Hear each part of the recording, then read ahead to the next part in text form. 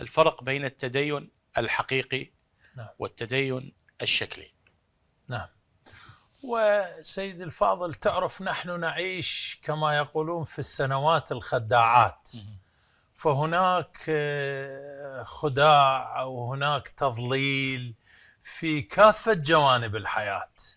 يعني آه، كأكذوبة كبرى على مستوى العالم كله إنه الحياة الدنيا هي هاي اللي أنت تتمتع بها وتنسى الآخرة. آه، هذا الإشكال آه، ضرب كل المجالات في الحياة. يعني آه، هناك اهتمام بالمظاهر والقشور على حساب الجوهر. ونسيان ال- اللب.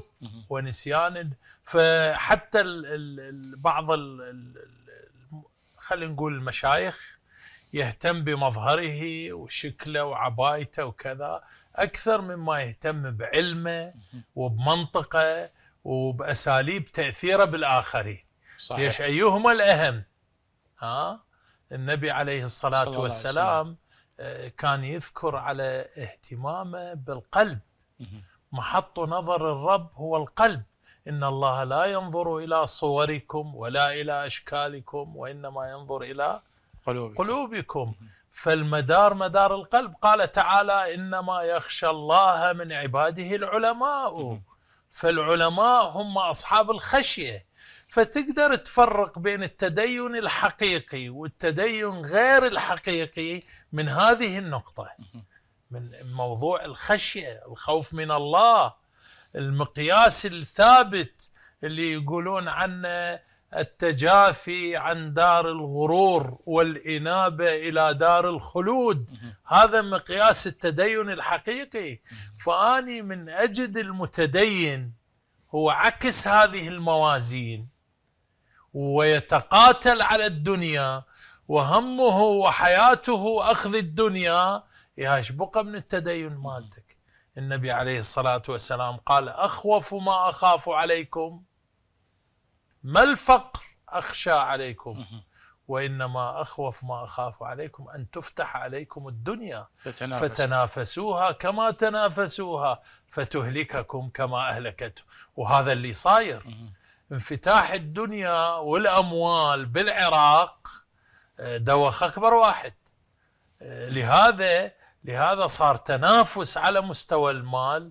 لا بل بعضهم يسلك مسلك الدين للوصول إلى ال- مهم. إلى المال وإلى الشهرة وإلى ال... إيش بقت لا عمي لأن أكسب الدنيا بالطبل والمزمار. أفضل من أن أكسب الدنيا بالدين. لهذا هذا التدين ال- الشكلي الغير حقيقي الكاذب. هذا يشكل عقبة أساسية للرده عن الدين. صحيح. والتدين الحقيقي الصادق هو اللي يجذب الإنسان للدين حتى لو لم يتكلم هذا الرجل. على أخلاقه يقول والله أكو أخلاق والله أكو دين. ها؟ يقول له رحم الله والديك. ها؟ آه ليش؟ لأنه أخلاقه تقرأ. هسه إحنا نجي على شنو السبب إنه الكفار مدى يدخلون في دين الله افواجا؟ الغرب الغرب عموما الحرية مفتوحة. ليش مدى يدخلون في دين الله افواجا؟ لأن وضعية المسلمين ما تشجع. صحيح. وضعية المسلمين تشجع. لو المسلم اللي يذهب إلى هناك مهاجر أو كذا أخلاقه فعلا أخلاق الإسلام كان دخلوا في دين الله. افواجا